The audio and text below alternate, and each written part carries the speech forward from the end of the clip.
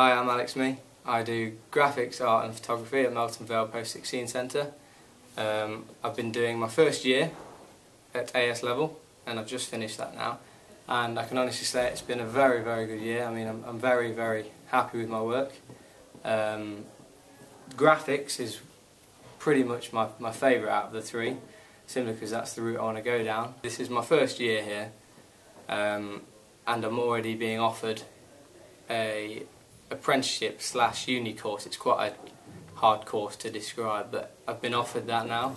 That'll be a two-year course, um, basically working for Xerox, which I'm really, really, you know, chuffed about. It's going to be a, a tough route to go down, but I really, really want to do it. But this is where you want to be if you want to go down routes like I'm going. I've gone to the digital side. Uh, this is some of my work for my AS level. Um, but that's I'm quite individual doing that. It's everyone else in my uh, group has gone more of a you know handmade um, illustration design, and from what I've seen, they're doing excellent. Um, so I can honestly say that whatever route you decide to go down in the graphics course, you will be doing you know some excellent work.